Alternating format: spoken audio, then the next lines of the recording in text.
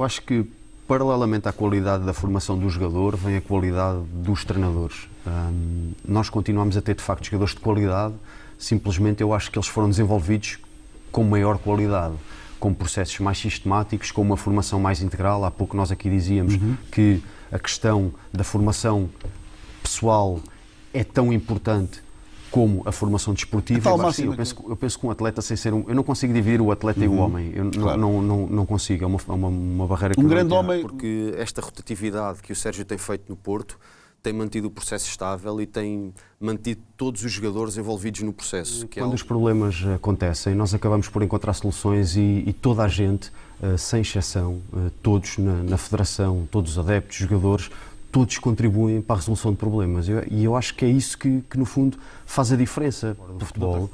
Eu acho que o jogador uh, está mais preparado, é mais crítico, portanto, percebe claramente questões de incoerência incoerência de decisão, incoerência de, daquilo que se treina.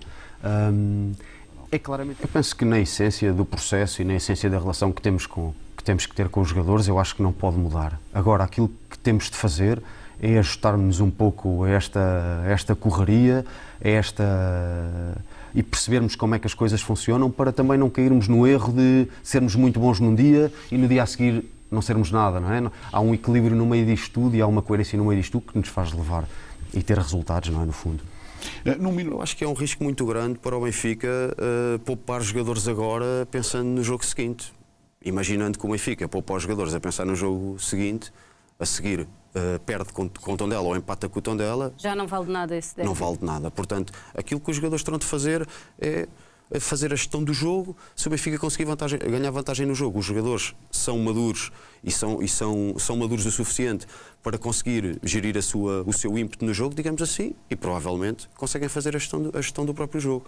Agora, se, se, se houver poupança agora e se houver um mau resultado, o campeonato uh, fica completamente hipotecado. Decidido.